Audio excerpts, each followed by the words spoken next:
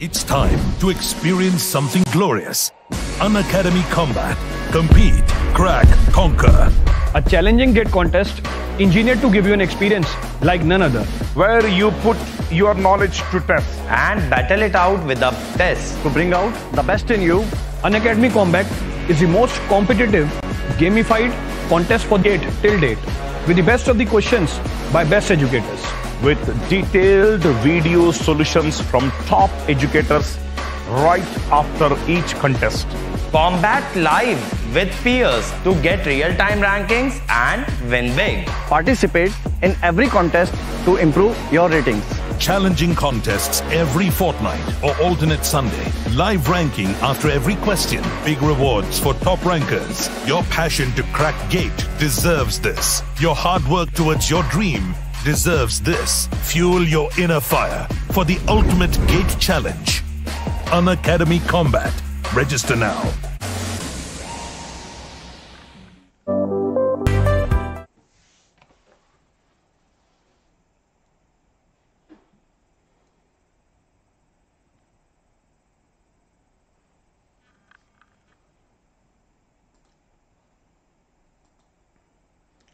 Good evening to all of you dear कैसे हैं आप सब लोग? Please let me know whether my voice is clear to all of you or not एक बार जल्दी से कमेंट सेक्शन में बता दीजिए आप सब लोग whether my voice is clear to all of you or not और आज मुझे जनता कम दिख रही है। आज मुझे पब्लिक कम दिख रही है। इसका मतलब आप लोगों ने वीकेंड को ज़्यादा ही इंजॉय कर लिया। तो वीकेंड ज़्यादा इंजॉय नहीं करना है। मैंने आपको एक दिन का संडे का पूरा ऑफ़ दिया है फ्रॉम दिस द्रोना बैच एक दिन का संडे पूरा आप इंजॉय कीजिए और मंडे से अटेंटिव रहिए। नहीं कि मंडे को फिर मेरे को आपको फिर से याद दिलाना पड़ रहा है। वैसा नहीं। आपका जो पर्पस है आपका जो क्लासेस है उसमें बिल्कुल आप परफॉर्म कीजिए। ठीक है? सो so, एक बार सब लोग जल्दी से बताना वीकेंड इंजॉय किया या नहीं संडे इंजॉय किया या नहीं जल्दी से बताइएगा। स्पेशली उन बच्चों से पूछ रहा हूँ जो गेट 22 और गेट 23 के लिए प्रिपेयर कर रहे हैं।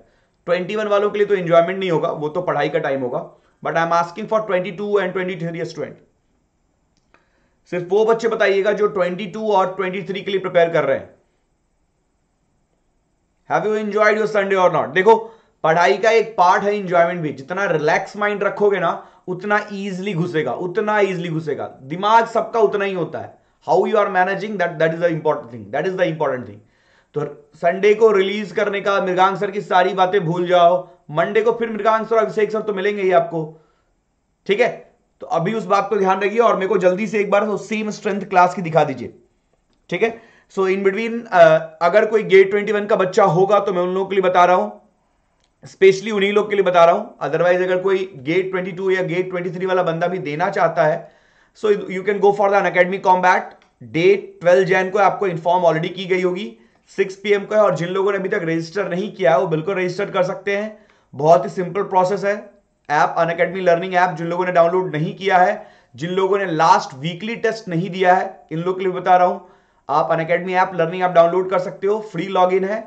उसके बाद आपको जो आपकी कोई भी क्लासेस जो भी, या तो आप जितने भी फ्री स्पेशल क्लास लेते हैं, सारे फैकल्टी आप सबको इंजॉय कर सकते हो। To invite as a invite code आप यूज़ कर सकते हो M R I ten this is my educator code which you all guys are knowing और इसके साथ आप कॉम्बेट भी इंजॉय कर सकते हो। यही सेम सेम कोड से आप कॉम्बेट भी इंजॉय कर सकते हो। चलो।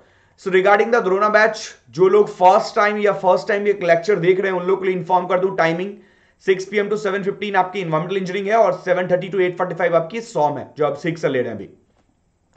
नेक्स्ट है आपका रिगार्डिंग माई डिटेल अगर आपको कुछ डिटेल मेरे अकॉर्डिंग uh, जानना होगा कि सर क्या सर ने क्या क्या? किया इस सारी अगर इंफॉर्मेशन आपको चाहिए, ऊपर आपको लिखा होगा मेजरली जो मैं आप हमेशा आप लोग को शेयर करता हूँ, सबसे पहले सबसे ज़्यादा इंपॉर्टेंस है कि आपको सब्जेक्ट्स कौन कौन सा मैं ले रहा हूँ तो environmental engineering fluid mechanics open channel flow and next one it is going to come it is going to update so in that the next one is going to come is the environmental science engineering subject and one more thing I am also going to start non tech subject I am planning for that may be if I am sure I will inform all of you आपको inform कर दिया जाएगा।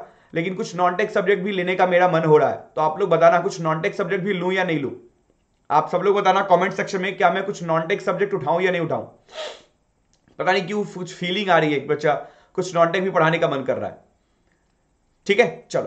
तो बाकी experience code के information जो आपको बहुत ही ज़्यादा इंफॉर्मेशन चाहिए, जो कोड के तीन ही यूज़ है आपको। फ़र्स्ट आपके जो फ्री क्लासेस है, उसको अनलॉक करने के लिए।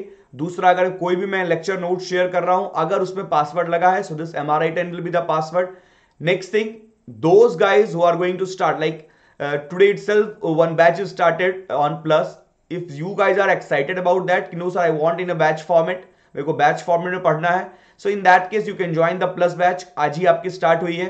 And in that case also you can use this M R I ten code So regarding the batch information, I think some of you guys have messaged me, sir. Uh, you are providing each and, every, each and everything in YouTube also, in Plus also, but which one is best? I will suggest कि अगर आपको एक से दो subject पढ़ना है YouTube is okay for you, no problem. You want to gain the knowledge. But if you have a if you have a something idea about कि sir मेरे को गेट या ESC या कोई बार जैसे एग्ज़ाम क्रैक करना है in that case plus is going to help you because ये बैच फॉर्मेट में पढ़ाई होगी आप जितने लोगों से इंटरेक्ट करेंगे वो सारे आपको स्टूडेंट आपको टॉप स्टूडेंट मिलेंगे और फैकल्टी भी आपको टॉप एजुकेटर मिलेगी पूरे इंडिया की। तो ये सारे हर सब्जेक्ट के लिए होगा किसी एक सब्जेक्ट के लिए नहीं सारे सब्जेक्ट के लिए। And that is the main part that is the benefit of this plus and now in a plus we have two courses one is the regular course and one is the iconic course in iconic course we are giving study planner personal coach preparatory study material, study booster session and personality test analysis. Content, class content will be same in both the, these are the extra thing which we are providing for the iconic one. And uh, as I say, always that a online study is incomplete without a weekly test. अगर आपकी online study में weekly test नहीं हो रही monthly test नहीं हो रही that means it is not going to useful it is not going to be useful regarding the fees detail आप देख सकते हैं like for twelve month it is around twenty seven hundred and for 24 month it is around 3900 600 and uh, if you compare with the offline and all it's very nominal for this much good content you all know and this is my unacademy profile which you all guys are knowing that right now 2000 people are following here and uh, follow करने का ये मतलब नहीं कि आप क्या मेरे ideas को फॉलो कर रहे हैं फॉलो करने का मतलब सिंपल ये है कि जो भी क्लासेस मैं आपको लूँगा regarding free special classes you will get inform आप उस पर इन्फॉर्म्ड हो जाओगे Now thing is that this link, this link will be available in description section of this video also. You can just click on this link and you will find the weekly test which I have conducted last last Saturday. तो Saturday को आपकी class नहीं हुई थी और नहीं ही होगी six to seven thirty में आपको वीकली टेस्ट लेता हर वीक तो जिन लोगों ने फ़र्स्ट वीकली टेस्ट नहीं दिया है वो लोग जाके दे लें और आज की कहानी हमारी स्टार्ट होती है बट एक दिन का गैप हो गया है तो आपसे बिल्कुल मेरा सबसे पहला सवाल रहेगा, क्या कोई डाउट आया बच्चा? If you have revise that thing if you get if like small doubt if you got please tell me अगर आपको स्मॉल डाउट भी आया तो बिल्कुल बताइए।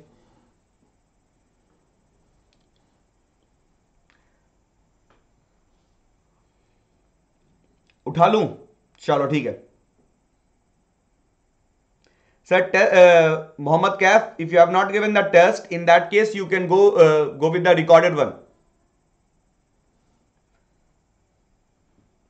ठीक है? नॉन टेक सब्जेक्ट में जल्द इन्फॉर्म कर दूँगा मैं आप लोगों को। डेफिनेटली इन्वायरमेंट से रिलेटेड कोई सब्जेक्ट रहेगा। Non tech means I am talking about the ESC engineering service exam के जो नॉन टेक सब्जेक्ट होते हैं मैं उसके बारे में बातें कर रहा हूँ। ठीक है? चलिए। तो जल्दी से बताइए। विशाल, मैंने हैजन का फॉर्मूला लिख दिया था 0.85 वाला फॉर्मूला याद रखिए। निखिल मिश्रा हाँ लास्ट संडे को टेस्ट हुआ था। जल्दी जल्दी जल्दी अपने आप डाउट्स ज़्यादा टाइम में डाउट्स पे नहीं दूँगा मैं। So I want all your doubt variation of water demand Kaif repeat नहीं कर सकता। The only thing you can do is just rewatch the recorded one again आप रिकॉर्डेड वाला फिर से देखो, आपको समझ में आ जाएगा। और नहीं समझ में आया then you can message me then you can message me directly. ठीक है? इसलिए मैंने बोला आप लोगों को टेलीग्राम पे भी आप मेरे को मैसेज कर सकते हो। In Telegram also you can message me Smriti logistic का कोई कंडीशन नहीं है। Three data are required for the logistic condition P naught P one P P two ये तीनों आपको मतलब इक्वल इक्वल इंटरवल पे आपको डाटा मिल रहा है लाइक like आपको 90 90 के लिए पॉपुलेशन मिल रही है, फिर आपको फॉर एग्ज़ाम्पल अगर डाटा ऐसा है 90 90 के लिए है, फिर 2000 के लिए है, फिर 2010 के लिए you can go with that you can go with that in in this in this case you can simply use the logistic curve अगर आपको बोला है तो। अगर लॉजिस्टिक कर्व नहीं बोला है so always we go for the incremental method that will be much suitable for us तो हम लोग अगर कुछ नहीं दिया रहता है तो हम इंक्रीमेंटल पे ही जाते हैं।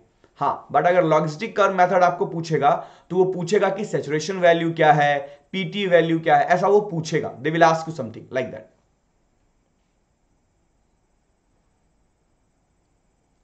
Nikhil book में पीएचडी के लिए भी कहानी है, पढ़ोगे क्या?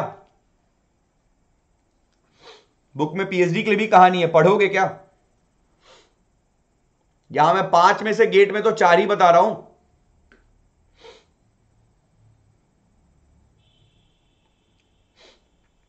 चलो, इसके अलावा किसी के कोई डाउट नहीं है। चलिए। चलो, आ जाओ यहाँ पे। हर एग्ज़ाम एक एक उसकी नीड होती है, उसकी एक सिलेबस होती है बच्चा। ये निखिल मैं आपसे बोल रहा हूँ, और आपको उसी के अकॉर्डिंग पढ़ना पड़ेगा। वरना मैं अगर मैं बोलूँ, आपको पूरी एसके गर्ग उठा लोगे तो एसके गर्ग कंप्लीट एक बुक ही इतनी मोटी है। कंप्लीट करते करते आपका गेट का एग्ज़ाम आ जाएगा। ठीक है? चलो। आ जाइए यहाँ पे बातें आते हैं यहाँ पे। बात समझिएगा यहाँ से बात समझिएगा यहाँ से कि हमने क्या किया था भाई? कॉन्फिडेंस वाला पार्ट देखा था। मतलब from an intake to from an intake to the treatment plant uh, how you are going to convey you are going to convey with what? Gravity आपका सिस्टम होगा। और ग्रेविटी में भी हमने डिस्कस कर लिया था कि पंपिंग हम बहुत कम प्रेफर करेंगे। पंपिंग हम बहुत कम प्रेफर करेंगे। ग्रेविटी फ्लो को रखेंगे। मतलब ओपन चैनल फ्लो की तरह डिज़ाइन करेंगे। बट क्लोज रखेंगे। हम इसको ओपन ना रख के क्लोज रखेंगे। अब देखो मैं क्लोज तो बोला बट फिर भी मैं ओसीएफ बोल रहा हूँ। दैट मीन्स आप पाइप फ्लो रखोगे, लेकिन फुल फ्लो मत रखना। पॉइंट समझ रहे हो? पाइप फ्लो रखो मतलब फुल फ्लो मत रखो। क्योंकि अगर फुल फ्लो नहीं रखोगे तो रेस्ट पार्ट में क्या रहेगा? एयर रहेगा एटमोस्फेरिक एयर रहेगा। और जब एटमोस्फेरिक एयर रहेगा तो डेफिनेटली ग्रेविटी फ्लो होगा। ये आपको बिल्कुल मालूम है। Is that clear to you is that clear to you तो कॉन्वीनियंस वाला कॉन्वीनियंस वाला, हमेशा क्या बोला मैंने? जो कॉन्वीनियंस की सिस्टम डिज़ाइन करोगे पाइपलाइन डिज़ाइन पीरियड तीस साल, और दूसरा दूसरा, किस किस किस किस पे, किस किस किस किस बेसिस पे डिज़ाइन करोगे? आप हमेशा मैक्सिमम डेली वाटर डिमांड पे डिसाइड करोगे। क्योंकि वहाँ पे मैक्सिमम आवरली लेने का कोई फ़ायदा है ही नहीं बच्चा। मैक्सिमम आवरली लेने का मतलब आपको पता है कि किसी पर्टिकुलर आवर में बहुत ज़्यादा होने वाला है, तभी तो मैक्सिमम आवरली डिज़ाइन करोगे। अगर वहाँ भी आपने मैक्सिमम आवरली को लेकर डिज़ाइन कर दिया कॉन्वीनियंस का तो आपका फोकट का पैसा वेस्ट होगा। फोकट का आपका कैपिटल कॉस्ट बढ़ेगा। Actually from the intake to the treatment plant हमको कभी अर्जेंट रिक्वायरमेंट नहीं पड़ती। ट्रीटमेंट प्लांट में कभी ऐसा नहीं होता है कि हमको जल्दी से 10 मिलियन लीटर वाटर चाहिए क्योंकि हमको ट्रीट करके देना है। ऐसा कभी नहीं होता। हाँ ट्रीटेड वाटर का डिमांड बढ़ता, ऊपर नीचे कम होता है। दैट यू नो दैट कि किसी सिटी में कभी फायर डिमांड हो सकता है, किसी सिटी में कभी पे आपको कुछ भी हो सकता है एनीथिंग कैन हैपन तो अकॉर्डिंगली आपका वाटर डिमांड चेंज हो सकता है। तो हमेशा याद रखना, ये जो वेरिएशन वाला पार्ट मैंने आपको बताया the variation which I told you it is only when the water is treated when the water is in distribution system that is from the treatment plant to the home treatment plant to the home हम उसी की बातें कर रहे हैं, हम उसी की बातें कर रहे हैं। इज़ दैट क्लियर अरे इज़ दैट क्लियर बच्चा? और यहीं पे एक बात और आपको इंफॉर्म करना बहुत ज़रूरी है। यहीं पे आपको एक बात और इंफॉर्म करना बहुत ज़रूरी है कि अगर मैं आपसे पूछूँ कि like you are going to design a confidence system simple सा, इसके बाद में एनालिसिस हम करेंगे, लेकिन अभी एक छोटा सा क्वेश्चन पूछूँ कि if you are going to analyse from a conveyance system that is a pipeline system from where you will start analysing या from where you will start constructing that कहाँ से कंस्ट्रक्शन चालू करोगे आप? आप अपने घर से चालू करोगे कंस्ट्रक्शन या आप अपने वाटर ट्रीटमेंट पॉइंट से चालू करोगे? बहुत ही प्यारा क्वेश्चन है, बहुत ही प्यारा क्वेश्चन है। अगर आपको नहीं समझ में आ रहा तो मैं यहाँ पे शो करके पूछ रहा हूँ बच्चा। This is your community and this is your W ये आपका कम्युनिटी है या होम जो भी बोलो। And you have to make a pipeline from this point to this point from this point to this point what you will do what you will do आप water treatment plant से बनाओगे या home से बनाओगे? Water treatment plant से बनाओगे या home से बनाओगे? From very good Deep Shantanu and Wasim sir water treatment plant से बनाएँगे। बिल्कुल सही। देखो भैया वाटर ट्रीटमेंट प्लांट से बनाओगे तो बाय द वे अगर आपका यहाँ तक पाइप बन चुका है, यहाँ तक आपका पाइप कंस्ट्रक्ट हो गया है तब भी उसको आप इधर वाले एरिया के लिए वर्किंग कर सकते हो ना? इधर वाले एरिया के लिए वर्किंग कर सकते हो ना? यहाँ अगर कोई होम होगा, यहाँ कोई होम होगा, यहाँ कोई होम होगा, यहाँ कोई होम होगा। बट अगर आप इधर से चालू करोगे तो जब तक पूरा कंस्ट्रक्शन नहीं हो जाएगा, तब तक आप पाइपलाइन को स्टार्ट नहीं कर सकते। तब तक आपका पाइपलाइन वर्किंग ही नहीं रहेगा। तो ये एडवांटेज है अगर आप वाटर ट्रीटमेंट प्लांट से होम की तरफ़ डिज़ाइन करते हो तो। तो ये मैंने आपको छोटा सा इंट्रो दिया कि डिज़ाइनिंग में आपको जब आप कंस्ट्रक्शन वाला फ़ेज़ में आते हो तो आपको कुछ कुछ चीज़ें बेसिक हैं जो मालूम होनी चाहिए। और वो भी मेरे को इन बिटवीन जहाँ जहाँ ज़रूरत लगता है, मैं आपसे शेयर कर देता हूँ। चलो। हम आगे बढ़ते हैं बच्चा। हम आगे बढ़ते हैं। अब जब हम कॉन्फिडेंस की बात कर रहे हैं तो एक टर्म हमको बहुत बार आएगा, जिसको हम बोलते हैं वाटर पावर और इफिशियंसी ऑफ़ पंप दो टर्म हमको बहुत बार आएगा। तो ध्यान से देखिएगा, सबसे पहले बात करते हैं वाटर पावर की। जिसको आप बोलते हो W H P water power W H P क्या होता है हमारा? Gamma Q H gamma Q H zero point seven three six जो भी वैल्यू आएगी आपकी हॉर्स पावर में आएगी। Gamma specific weight of liquid Q उसका डिस्चार्ज और एच हेड तो ये हमारा बेसिक फॉर्मूला है डब्ल्यू एच पी का वाटर हॉर्स पावर अगर आपने पंप की इफिशियंसी को ब्रेकिंग इफिशियंसी या पंप की इफिशियंसी को भी काउंट कर लिया तो इसी को हम बोलते हैं बीएचपी ब्रेक हॉर्स पावर और यहाँ फॉर्मूला में 0.736 की जगह वो तो रहेगा ही, साथ में इफिशियंसी आप डाल देते हो। साथ में आप इफिशियंसी डाल देते हो। तो आपने दो फॉर्मूला देखा अभी वाटर पावर का। एक देखा आपने gamma Q H upon zero point seven three six और यहाँ गामा में याद रखना, यहाँ गामा आपको किसमें रखना है? Nine point eight one kilo newton per metre cube. Same thing here also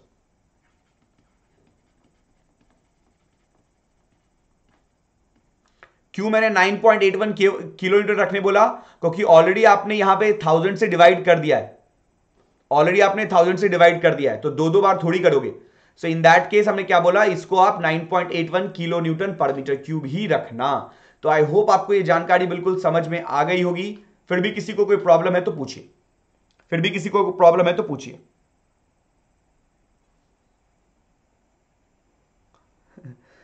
Shantanu बोल रहे सर, जहाँ तक टेंडर मिलेगा, वहीं तक पाइपलाइन बिछा सकते हैं।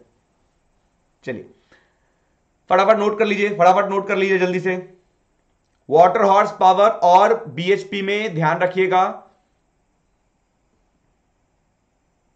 एनपी आप इफिशियंसी बोल सकते हो बच्चा, जो आपके पंप की जो मैकेनिकल डिवाइस की आप पंप की इफिशियंसी भी डायरेक्टली गिवन रहती है तो वो आपको नोट किया हुआ रहेगा। ठीक है? अब कुछ लोगों को यहाँ पे लग रहा होगा कि, सर डब्ल्यूएचपी और गामा क्यूएच आपने एक जगह कैसे लिख दिया? मतलब आपने पावर को गामा क्यूएच कैसे लिख दिया? इस बात की जानकारी देने के लिए मेरे को थोड़ा सा आपको बेसिक डिटेल बताना पड़ेगा बच्चा। और बेसिक डिटेल के लिए थोड़ा सा देखो आप, आपसे ज्ञान लेना पड़ेगा कि सर, पावर को आपने गामा क्यू एच कैसे लिखा? ये जिन लोगों को नहीं मालूम है, उन लोग के लिए बता रहा हूँ। वैसे ये मेरा पार्ट नहीं डिस्कशन का बट फिर भी बता देता हूँ। देखो, पावर क्या होता है बच्चा? Work done per unit time work done per unit time अब यहाँ पे अगर आप पावर देखो तो आपके लिए अगर वाटर पावर की बात हो रही है तो क्या है basically M G H potential head आपका पोटेंशियल हेड है डिवाइड बाई टी क्योंकि पानी आपका ऊपर है, उसी की वजह से हेड आ रहा है और कुछ नहीं है। एम बाई टी को आप क्या बोलते हो? M dot into G into H अब एम डॉट को आप क्या बोलते हो? Rho into discharge into G into H then P will be equal to rho into G is gamma into Q into H and same thing I have written here same thing I have written here तो जिन लोगों को ये problem हो रही होगी कि sir ये वाला पार्ट गामा क्यू एच कहाँ से आया? तो मैंने वो एक्सप्लेन कर दिया। अब जिन लोगों को प्रॉब्लम हो रही है सर ये 0.736 क्यों रखा आपने? क्योंकि जो आपका यहाँ मैं वाटर हॉर्स पावर बता रहा हूँ आपको, ये वन एचपी हॉर्स पावर में कितना होता है? Seven three six seven three six joule आप बोल सकते हो। सेवन थ्री सिक्स जूल आप बोल सकते हो। इसीलिए वैल्यू है आपकी। Is that clear one water horse power इसको जूल मत बोलो, इसको वॉट बोलो। So one horse power is equal to 736 watt तो ये इसीलिए मैंने क्या किया है, क्योंकि मेरे को वैल्यू अपनी हॉर्स पावर में चाहिए थी, इसीलिए मैंने यहाँ पे 736 से डिवाइड कर दिया है। इसलिए मैंने यहाँ पे 736 से डिवाइड कर दिया है। आई होप ये बात आपको क्लियर हो गई होगी। जिन लोग को वॉट का मतलब नहीं मालूम तो न्यूटन मीटर पर सेकेंड जो आप बोलते हो मतलब एनर्जी पर सेकेंड जो आप बोलते हो, या वर्क डन पर सेकेंड जो आप बोलते हो, उसको हम वॉट से रिप्रेजेंट करते हैं। And that is the reason here I have taken gamma Q H upon zero point seven three six why it is zero zero point seven three six because आप गामा में nine point eight one into thousand की जगह आप क्या लिखते हो? सिर्फ़ 9.81 सिर्फ़ आपको 9.81 लिखना है। ये शॉर्टकट की तरह फॉर्मूला यूज़ हो रहा है और कुछ भी नहीं है। चलो, बात समझ में आई? चेतन का सवाल है, सर एम डॉट का मतलब कहाँ है? शांतनु, गेट में इस टॉपिक से आ सकता है। एक नेक्स्ट जो अभी एक पॉइंट पढ़ाने वाला हूँ, हाँ, उससे गेट में नहीं आएगा बट इस वाले पॉइंट से गेट में आ सकता है, बिल्कुल आ सकता है। ठीक है? वशीम यूज़ होगा, अभी देखोगे प्रॉब्लम में कैसे यूज़ होगा। इसके बीच में चेतन का सवाल है एम डॉट क्या है? ये मैं एक्सप्लेन कर देता हूँ। अगर आप लोग को, वैसे मेरे को लग रहा था कि आपको एम डॉट और डिस्चार्ज दोनों मालूम होगा बट अब मैं बार बार यूज़ करूँगा तो इन्फॉर्म करना ज़्यादा सही है। देखो बच्चा एम डॉट और क्यू दोनों फ्लूड मैकेनिक्स का कंसेप्ट है।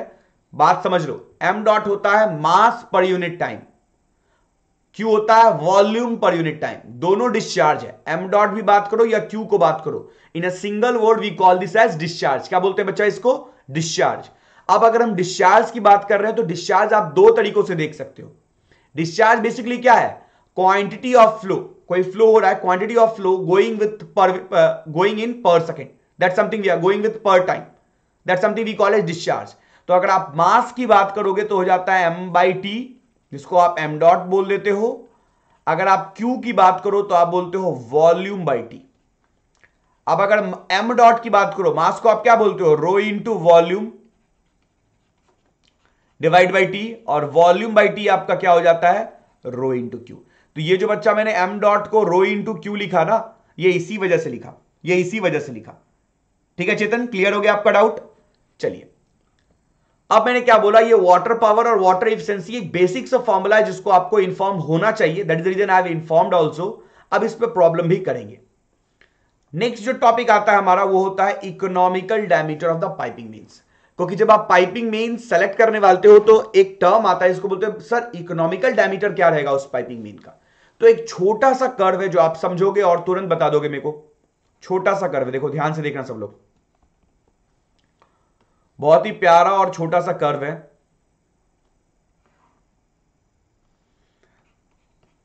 हमने एक कर्व बनाया बच्चा। इधर हमने रखा है एनुअल कॉस्ट और इधर ही रखा है हमने size of size of pipe that means you can call at the diameter of हमने क्या देखा कि जब हमने एनुअल कॉस्ट और साइज़ ऑफ़ पाइप का एक एक कर्व बनाने का, जब उसके अलग अलग पॉइंट्स लेके एक कर्व बनाने का सोचा तो आपको देखो कैसा कर्व बन रहा है। If you look it here you can find it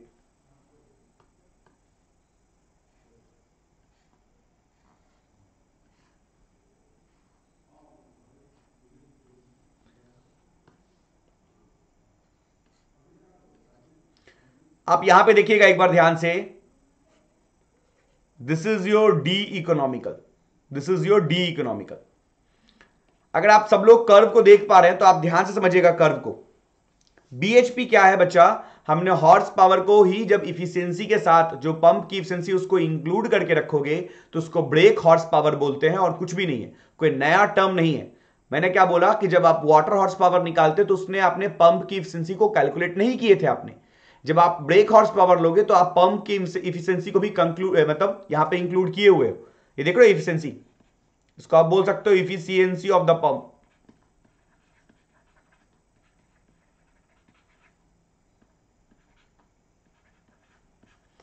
तो इन दैट केस क्या होगा आपको कि आपको डेफिनेटली जो पावर आएगा वो थोड़ा डिफरेंट तो आएगा, थोड़ा डिफरेंट तो आएगा।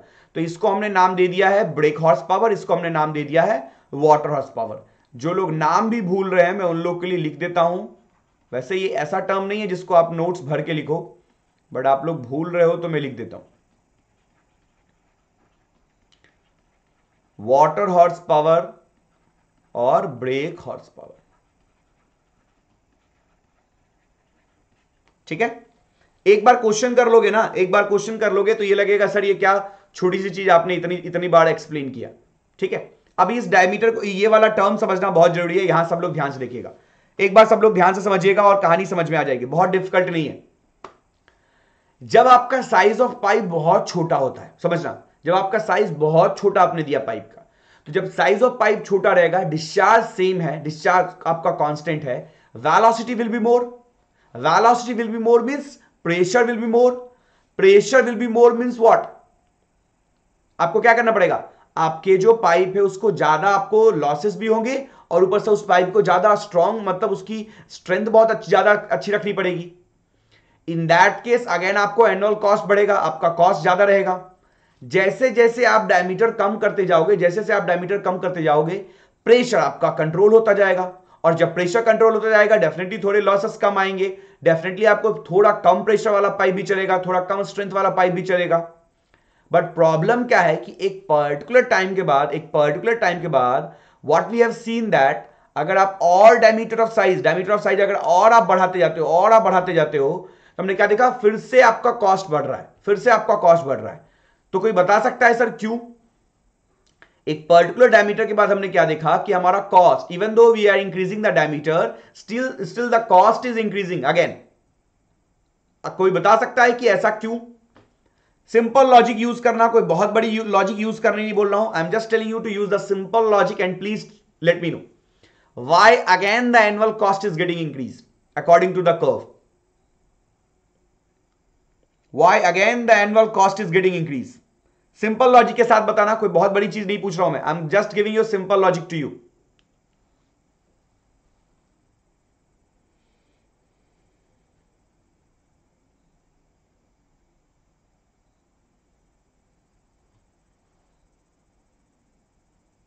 washing board because pipe dia is small again amma i'm telling you na size of pipe is increasing when size of pipe is small that time you have an that time you have more velocity more pressure strength of the pipe you have to give more annual cost will be more okay understood now now you started reducing now you started reducing the size of pipe जब आप size of pipe कम करोगे धीरे धीरे आपका annual cost कम हो रहा है एक पर्टिकुलर पॉइंट के बाद आपने क्या देखा फिर से आपका एनुअल कॉस्ट बढ़ रहा है क्यों ये बढ़ रहा है? Why it is increasing that is that is my question बिल्कुल सही जवाब।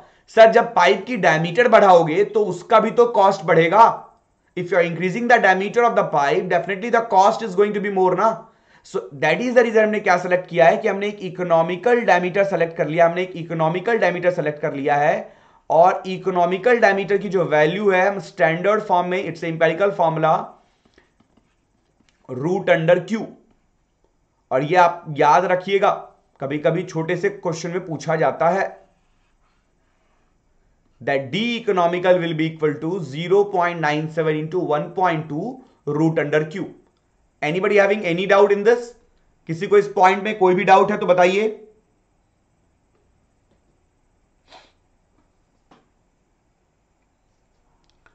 स्मृति, जो आपने पॉइंट बोला, वो बिल्कुल सही है but that is not a reason why आपका कॉस्ट बढ़ रहा है। That is not a reason reason is size of pipe is increasing size of pipe increase करेगा तो डेफिनेटली कॉस्ट बढ़ेगा ना बच्चा? आपने जो स्टेटमेंट लिखी, वो बिल्कुल सही है बट अपना रीजन सही नहीं है। तो हमने क्या किया है? डी मिनिमम या डी इकोनॉमिकल जो भी आप बोलो, इसको मिनिमम भी कई लोग बोलते हैं। दोनों में आप क्या कर सकते हो? Zero point nine seven to one point two root under Q root under Q इस फॉर्मूला को नोट कर लिए जल्दी से सब लोग। Every one note down this formula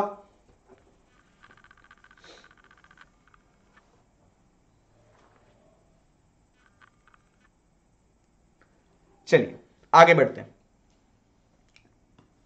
empirical formula है तो याद रखिएगा कि डी मिनिमम जो है आपका, वो मीटर में ही आएगा भैया हमेशा, और क्यू आपको हमेशा मीटर क्यू पर सेकेंड में ही रखना है। इट इज़ इंपेरिकल फॉर्मूला तो इस बात का आप ध्यान रखिएगा। तो यह था हमारा economical diameter of pumping means अब हम एक प्रॉब्लम करते हैं तो आप लोग की जो थोड़े थोड़े डाउट्स है ना, वो देखो एक बार में क्लियर हो जाएँगे। पहला डाउट होगा आप लोग का कि सर ये जो आपने 10 मिनट का डिस्कशन किया, इससे प्रॉब्लम कैसे आएगा? तो वो डाउट क्लियर हो जाएगा, और अगर प्रॉब्लम आया तो कैसे बनेगा, वो भी क्लियर हो जाएगा। अब ब्रेक हॉर्स पावर भी आपको समझ में आएगा, अब वाटर हॉर्स पावर भी आपको समझ में आएगा। एक एक पॉइंट समझ में आएगा। So I just want all of you to try this question जितनी भी समझ है उतनी में ही ट्राई करो। जितनी भी समझ अभी तक आई है उतने में ट्राई करो। Rohit let me complete the environment then at least seventy eighty percent तो कंप्लीट होने दो। तब तो मैं आपको नेक्स्ट क्लास के बारे में इंफॉर्म कर सकता हूँ।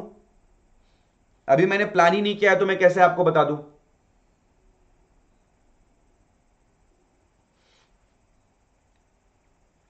चलो।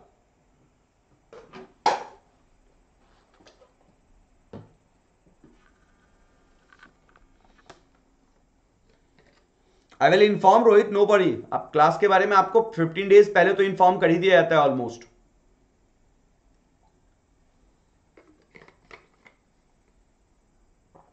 चलो, जल्दी से जल्दी से। देखो, जहाँ तक आपकी समझ जा रही है ना, वहाँ तक तो खेल सकते हो ना। जहाँ तक आपकी समझ जा रही, वहाँ तक तो खेल सकते हो ना। क्वेश्चन पढ़ोगे, बाकी सारी समझ आ जाएगी। For a water supply of a town, water is pumped from a river 3 km away into a reservoir. Very good. The maximum difference of level of water in a river and reservoir is 20 meter. Accepted. The population of a town is 50,000 and per capita water demand is 120 liter per day. Okay. If the pump are to operate for a total of 8 hour and the efficiency of pump is 80%, determine the horsepower of the pump assuming friction factor as 0.03, velocity of flow as 2 meter per second and maximum daily demand as 1.5 times the average daily demand. तो आपको हर point to the to the एकदम clear to the straight आपको given है। अब आपका solution देखते अब आपका सॉल्यूशन देखते हैं। तो आप लोग ट्राई करो और अगर नहीं बन पा रहा है बच्चा नहीं समझ में आ रहा है तो आप कमेंट सेक्शन में बता सकते हो कि सर नहीं बन रहा है आप बना दो। मेरे को कोई प्रॉब्लम नहीं है। मैं हमेशा आप लोग को ट्राई करने बोलता हूँ पहले। अगर आप लोग मेरे टेक्निक से छह छह लेक्चर में वाकिफ हो गए होंगे तो आप देखते होंगे, मैं हर प्रॉब्लम पहले आपको ट्राई करने देता हूँ। ठीक है? होगी गलती होगी। अभी सीखने का टाइम है, गलती होगी, चलेगा। लेकिन टाइम वेस्ट मत कर देना। हम दोनों में से, दोनों का टाइम वेस्ट ना हो। अगर नहीं बन रहा है तो मैसेज कर दिया करो कि, sir it's better you explain चलो।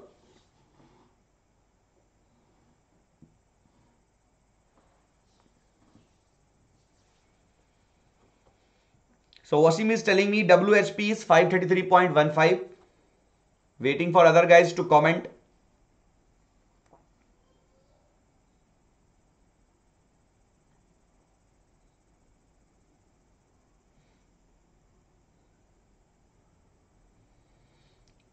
चलो, जल्दी बताओ कुछ बच्चे जो वीकली टेस्ट में बोल रहे थे, मेरे को बाद में मैसेज कर रहे थे, सर परफॉर्म अच्छा नहीं कर पाए हम अरे बच्चा, ये फ़र्स्ट वीकली टेस्ट है अभी अगर आपको थोड़ी भी तो मतलब आप 60 परसेंट भी क्वेश्चन सॉल्व कर पाए ना वीकली टेस्ट के तो मैं बोलूँगा बहुत है। ठीक है? धीरे धीरे बढ़ते जाएँगे धीरे धीरे बढ़ते जाएँगे। अभी इस महीने आपको चार वीकली टेस्ट आने वाले हैं। धीरे धीरे सब मज़ा आएगा।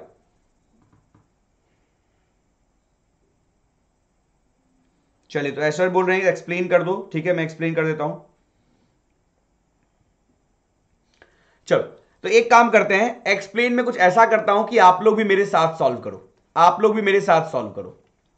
तो देखो भैया, हमको बोल रहा है ये पावर निकाल लें कौन सा पावर निकालने बोला? इसने इफिशियंसी मेंशन करवा दिया है। मतलब उसने ब्रेक ब्रेक हॉर्स पावर पूछ रहा है हमसे।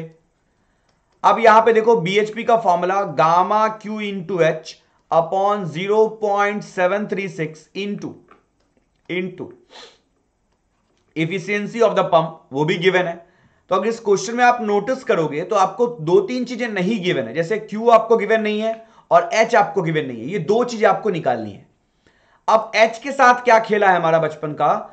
कि एच जो टोटल हेड आप रखोगे, वो जो आपका डिफरेंस गिवन है, जो एक्चुअल डिफरेंस गिवन है ट्वेंटी मीटर प्लस तीन किलोमीटर लंबा पाइप बनाना है।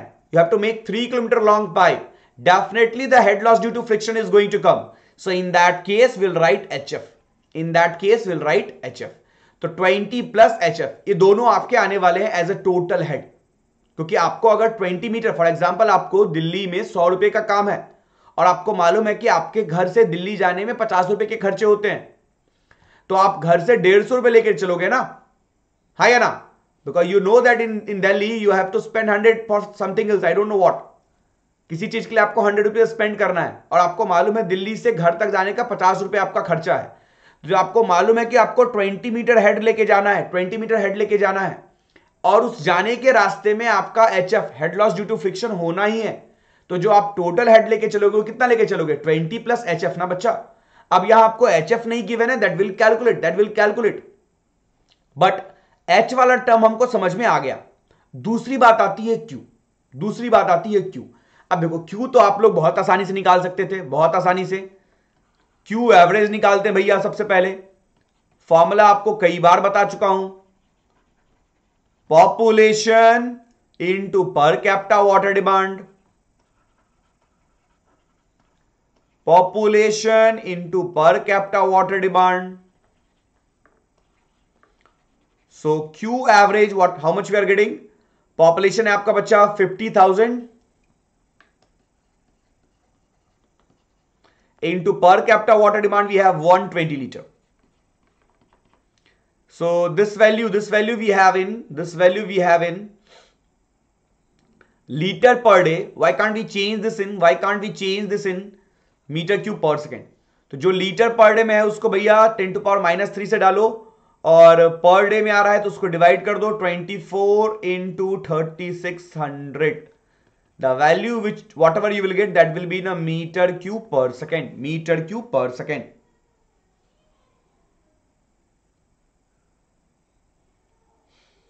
Rohit, आप मेरे को टेलीग्राम पे मैसेज कर दो। आप टेलीग्राम ग्रुप में हो तो लिंक तो डायरेक्टली खुलेगा।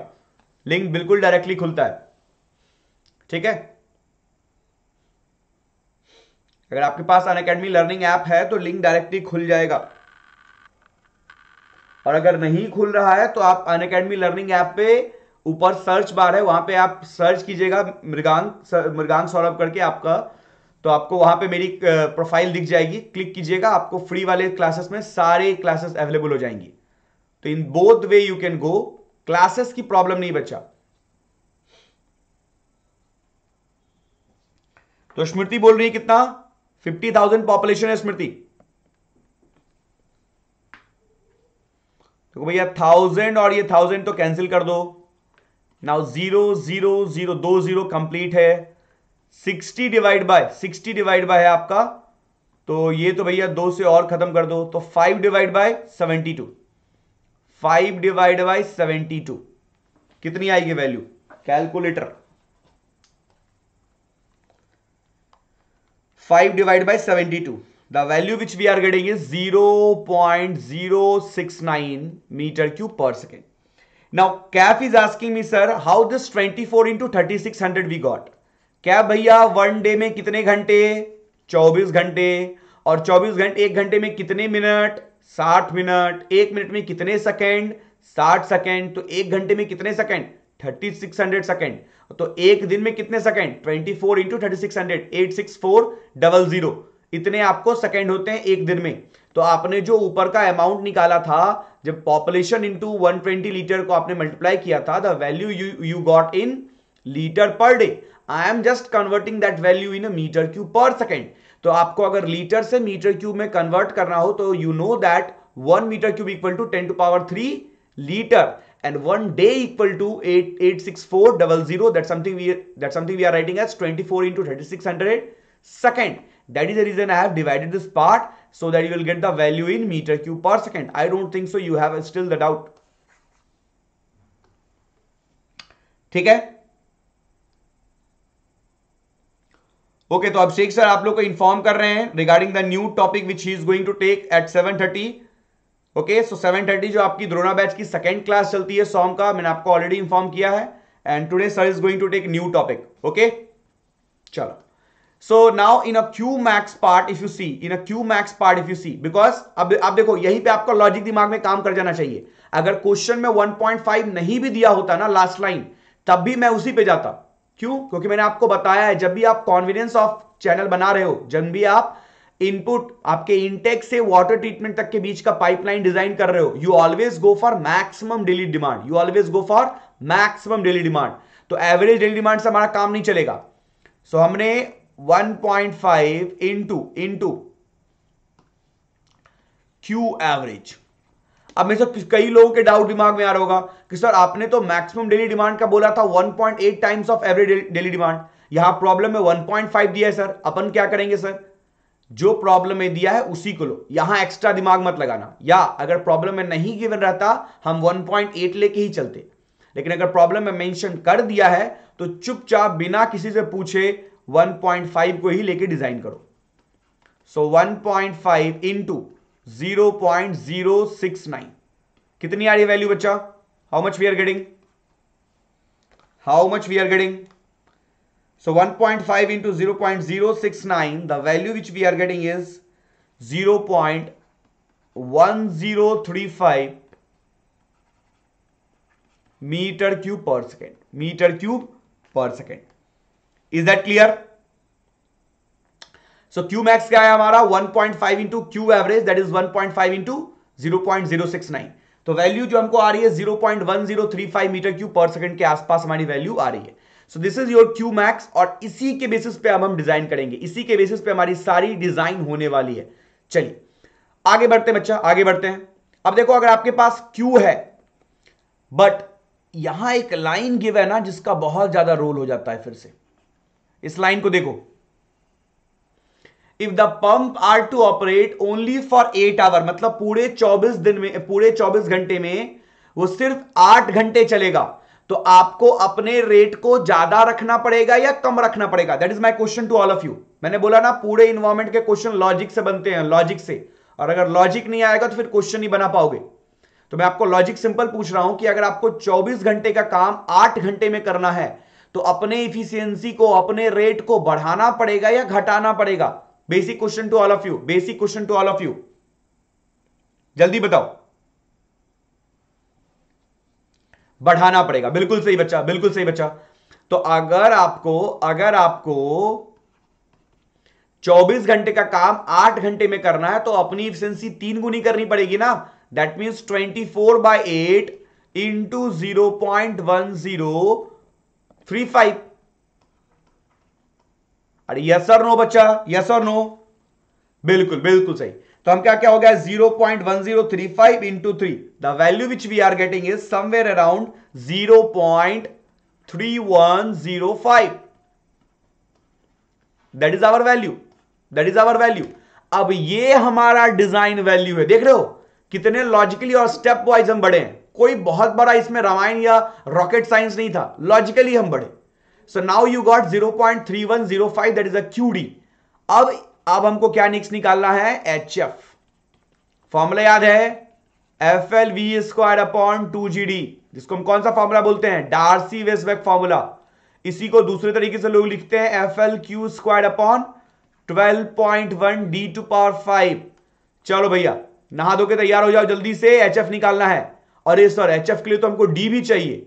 और डी तो गिवन नहीं है सर अब भैया डी भी निकालना पड़ेगा। हाँ सर बिल्कुल निकालना पड़ेगा। तो चलो, सबसे पहले तो डी निकालना पड़ेगा भैया। क्या होता है formula Q equal to area into V Q है आपका zero point three one zero five area होगा pi by four into D square into V V we are taking as two V we are taking as two चलिए। यहाँ तक clear है? यहाँ तक clear है? चलो, जल्दी से मेरे को डी की वैल्यू बता दो, जल्दी से मेरे को डी की वैल्यू बता दो सब लोग। Everyone just calculate and tell me the d value. Everyone just calculate and tell me the d value.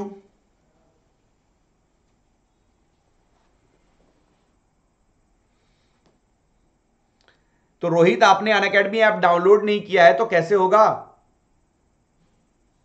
आपको वो लिंक अन अकेडमी ऐप के थ्रू खोलनी होगी। When you pay when you page that link on Chrome आपको क्या होगा? वो या तो दो ऑप्शन देगा, आप क्रोम के थ्रू जाओ या आप ऐप के थ्रू जाओ। अगर आप ऐप के थ्रू जाओगे तो वो डायरेक्टली मेरी क्लास शो कर देगा। चलो, जल्दी बताओ जल्दी बताओ सब लोग।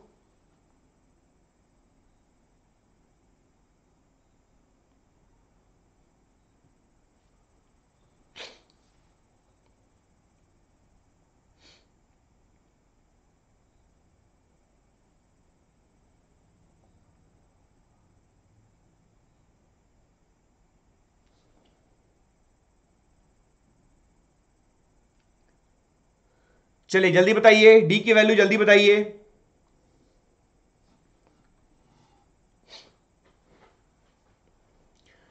अभिजीत, रोहित, इन, इस टाइप के सवाल जो है ना बच्चा, या तो क्लास के स्टार्ट में पूछा करो, या क्लास के लास्ट में। बीच में पूछते हो, मैं डिस्टर्ब होता हूँ।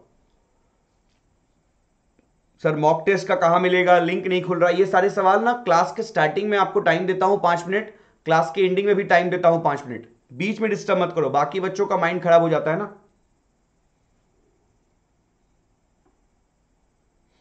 चलिए तो आप सब लोग जवाब दे रहे हो zero point four four metre zero point four four metre ठीक है? तो zero point four four metre आप लोगों ने डी का जवाब दिया है। चलिए तो आप मेरे को एच एफ़ की वैल्यू बता सकते हो क्या? एफ़ एफ़ ये वाला फॉर्मूला यूज़ करके बता दो इजी रहेगा आपके लिए। तो अगर मैं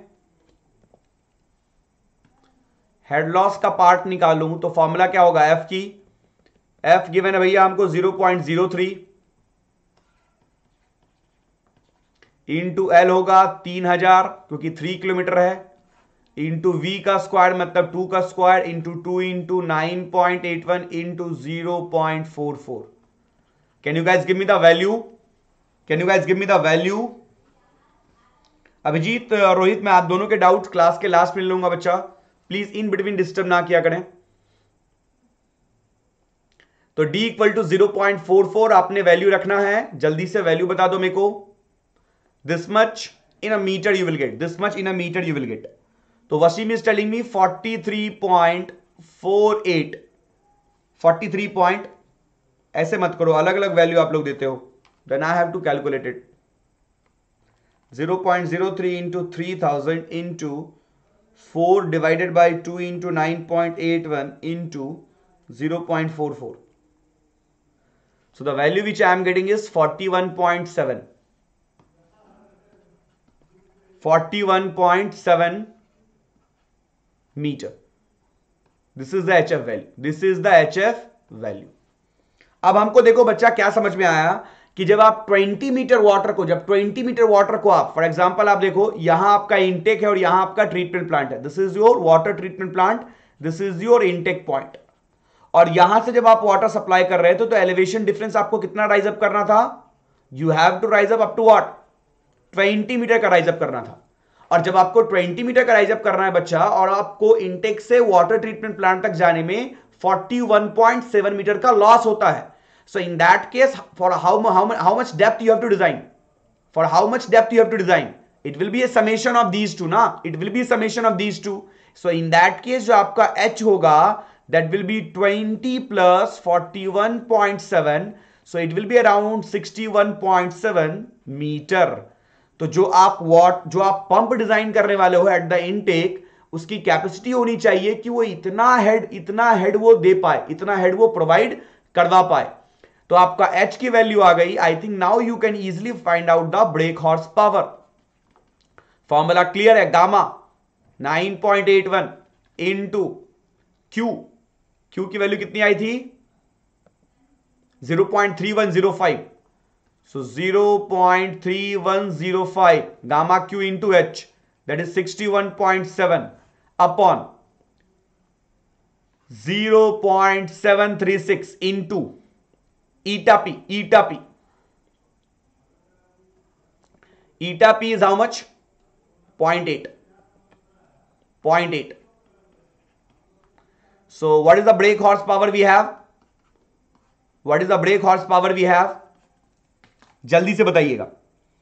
Is the brake horsepower we have